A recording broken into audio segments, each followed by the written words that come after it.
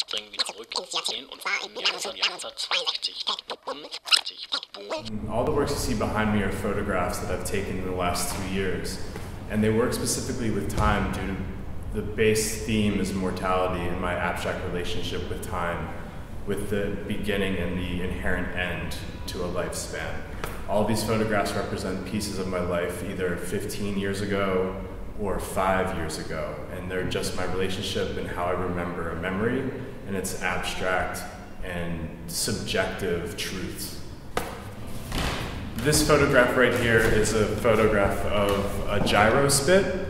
Um, and being brought up in a Greek Orthodox household, I was always enamored by the idea of the spinning meat and how it relates to the culture that I was brought up in. Um, and never really actually having it in front of me as a child, and now as an adult, having it in my neighborhood in Brooklyn, I decided to photograph this and try to figure out what and what and how I remember this image as a child and trying to bring it into the forefront of my practice in my current life.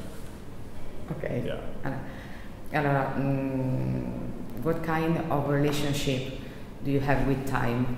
Mm. And time is super abstract. It's, I mean, it can be a drawn out. It could be a moment that feels like hours at a time, or it could be a moment that's very fleeting. And these photographs try to capture that moment, whether I believe it to be a few hours or a few years of an experience, or make it this very, very quick, very romantic, immediate snapshot.